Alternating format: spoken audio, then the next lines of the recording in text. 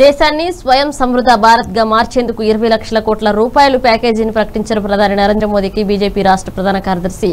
దేవాదాయ శాఖ మాజీ మంత్రి పైడికొండల మాణిక్యాలరావు కృతజ్ఞతలు తెలిపారు.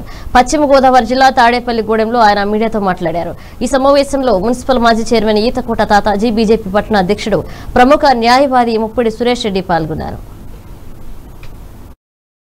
సుమారుగా ఎంఎస్ఎంఈలకి మూడు లక్షల డెబ్బై వేల కోట్లు ఏదైతే ఈపీఎఫ్ మూడు మాసాల పాటు ఈపీఎఫ్ని ఎంఎస్ఎంఈల మీద భారం లేకుండా ఏదైతే ఈపీఎఫ్ని ప్రభుత్వమే చెల్లించే కార్యక్రమం కారణంగా రెండు వేల ఐదు వందల కోట్లు అలాగే ఈపీఎఫ్లో ఏదైతే కేంద్ర వాటాను తగ్గించడం కారణంగా ఆరు వేల ఏడు వందల యాభై కోట్లు అలాగే ఏదైతే డిస్కమ్లు ఉన్నాయో పవర్ డిస్కమ్స్ డిస్కమ్లు ఇవి లాస్లోకి వెళ్తున్న పరిస్థితుల్లో వీటి పునరుద్ధరణ కోసం తొంభై వేల కోట్లు అలాగే రకరకాల పన్నుల రాయితీల రూపేణా యాభై వేల కోట్లు అలాగే ఈ mandatory provide fund provident fund ఏదైతే ఉందో ఎంఎఫ్ఐ నిమిత్తం డెబ్బై ఐదు వేల కోట్లు ఇలా ఐదు లక్షల తొంభై నాలుగు వేల రెండు వందల యాభై కోట్లకు సంబంధించి నిన్న ఆర్థిక శాఖ మంత్రి నిర్మలా సీతారామన్ గారు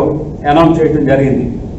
ఇందులో చాలా చక్కటి ఏదైతే ఎన్పిఐ లాస్ అయిన ఇండస్ట్రీస్ గురించి గురించి కూడా చాలా స్పష్టంగా మాట్లాడటం జరిగింది.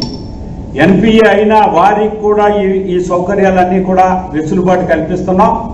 తద్వారా ఈ ఫ్యాక్టరీలన్నీ కూడా మరలా రన్నింగ్లోకి రావటం ద్వారా ఏదైతే ఇవాళ ఉపాధి అవకాశాలు ఉన్నాయో దీన్ని పునరుద్ధరించడం ఈ ఫ్యాక్టరీ ప్రధానమైన లక్ష్యం.